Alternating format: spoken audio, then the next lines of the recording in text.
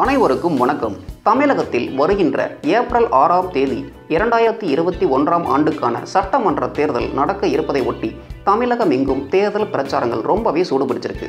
நடக்கவிருக்கும் இந்த சட்டமன்ற தேர்தலில் ஆளும் கட்சி எதிர்க்கட்சி கூட்டணி கட்சிகள் சுயேட்சை கட்சிகள் என பல கட்சிகள் போட்டியிட்டு கொண்டு தேர்தல் பிரச்சாரத்தில் ஈடுபட்டிருக்காங்க.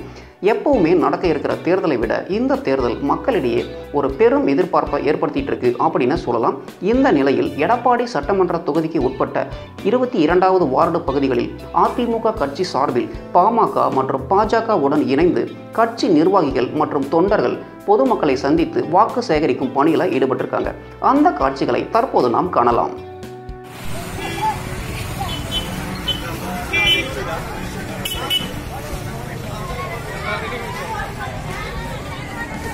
கொடிக்கிறேன் மறைக்கிறதா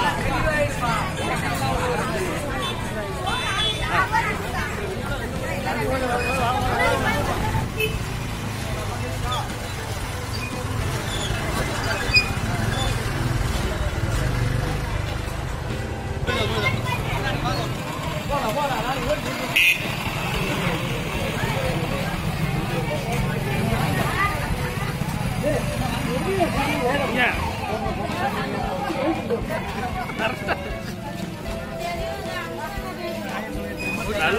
Mukanya